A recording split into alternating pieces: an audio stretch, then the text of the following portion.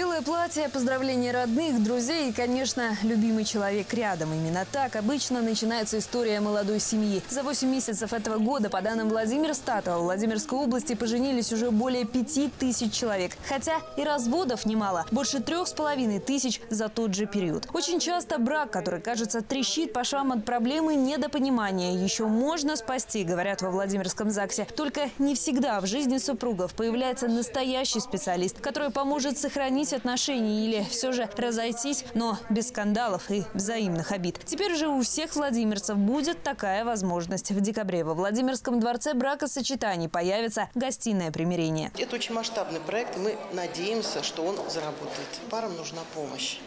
Я сама мама, сама бабушка. Я прекрасно понимаю, что э, как бы я не пыталась объективно разобраться в ситуации, когда возникает конфликт, я всегда буду защищать сторону своего ребенка. Неважно, 40 ему лет, 25, он все равно для меня ребенок.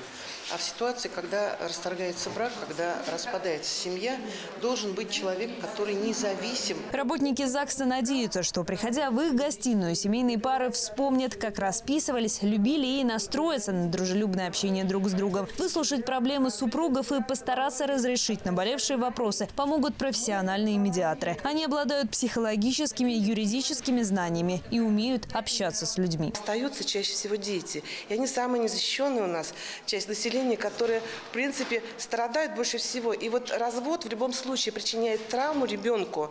Э, в каком бы возрасте ребенок ни находился, мы должны помочь э, либо более экологично помочь э, расстаться с супругом и при этом не нанести серьезный ущерб психике и здоровью ребенка, либо помочь им соединиться опять. Служба медиации в нашей области работает уже не первый год. Проект развития семейной медиации специалисты реализуют на средства президентского гранта. Опыт создания подобных служб примирения для супругов есть в разных областях нашей страны. Во Владимирском ЗАГСе подчеркивают, нашим специалистам тоже есть чем поделиться с коллегами. Проект «Гостиной» сегодня презентовали в рамках круглого стола. Он посвящен развитию системы семейной медиации в области. На встречу пришли представители общественных организаций, органов опеки, юристы, сотрудники правоохранительных органов и даже студенты. Эльмира Сафина, будущий юрист, учится на четвертом курсе. В их программе даже есть специальный предмет – медиация. Девушка уверена, что уметь грамотно разрешать конфликты важно не только юристу, но и обычному человеку. Мне кажется, вот особенно когда дети появляются, безусловно, чтобы разводов было меньше,